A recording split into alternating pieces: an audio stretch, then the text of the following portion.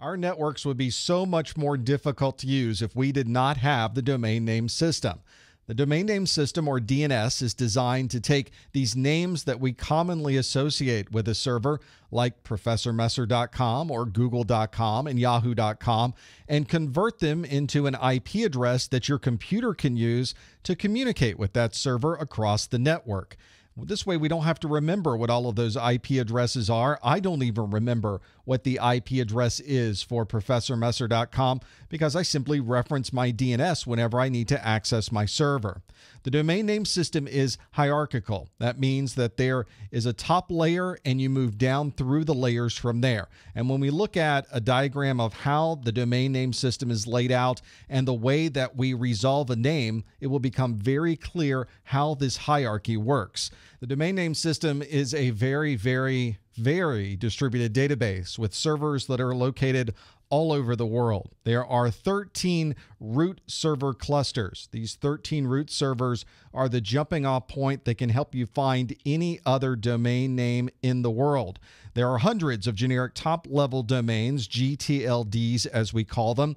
The most familiar, of course, are .com and .org and .net, but there are hundreds and hundreds of others you can choose from. There are over 275 country code top level domains, things like .us for the United States, .ca for Canada, .uk for the United Kingdom, and many others as well.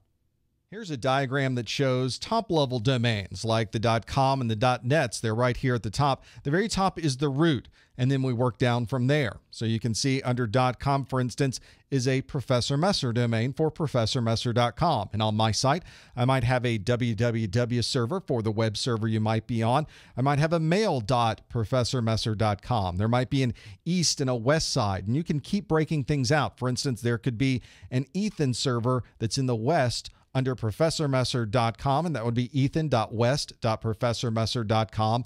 And you can even keep going with this hierarchy. No matter how you design it, this structure is used for every domain that you'll find. When we piece together all of those different components of the domain name, we have something called a fully qualified domain name or FQDN. This is the entire name all put together. For instance, under the professormesser.com domain, I do have a www.professormesser.com. And if you recall, I also had an east and a west, and I had different devices that were in the east side and the west side of the domain. You can see ethan.west.professormesser.com is the fully qualified domain name for that server that is located in the West that happens to be called Ethan. My ProfessorMesser.com web server simply www.professormesser.com. So that's the fully qualified domain name.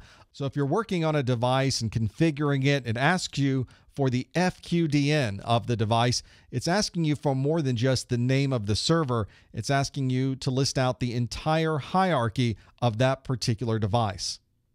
In our example, we're going to look for the www.professormesser.com server. I need the IP address of that device so that I can access it. And we will, of course, be talking to one of the 13 root servers that's on the internet. That will take us to the .com name server. And of course, there are other name servers not listed here for .net and .org and all of those others. And of course, I have a name server that handles all of my local IP addresses that I configure so that ultimately we're going to talk to that server to find out really what is the IP address of my web server. Let's start with the resolver. I'll go to a browser, I'll type in www.professormesser.com.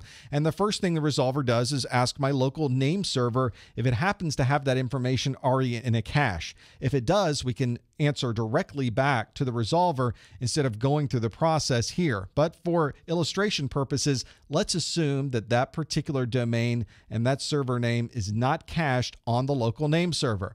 So the local name server sees that I'm looking for www.professormesser.com. First thing it needs to do is talk to a root server and determine where are the .com servers that can give me more information about professormesser.com and the root server talks back to the local name server for that information. Notice that the root server isn't talking all the way back to the end station quite yet. All of the work is really being handled by the local name server. Now that the local name server knows where the .com server is, it repeats the process to the .com server and asks, how do I get to professormesser.com? the .com name server says, "Oh, James has set up a DNS server just for his local purposes. Here's the information you need to find that particular name server." Now that your local name server knows how to get to my name server, it communicates directly to the ProfessorMesser.com name server. I now, of course, provide the information, the IP address of my web server back to the local name server, and the local name server tells your workstation, here is how you get to ProfessorMesser.com through this particular IP address. At this point, we've gone through a lot of work just to figure out where all of these different servers are and what the IP address ultimately is of professormesser.com.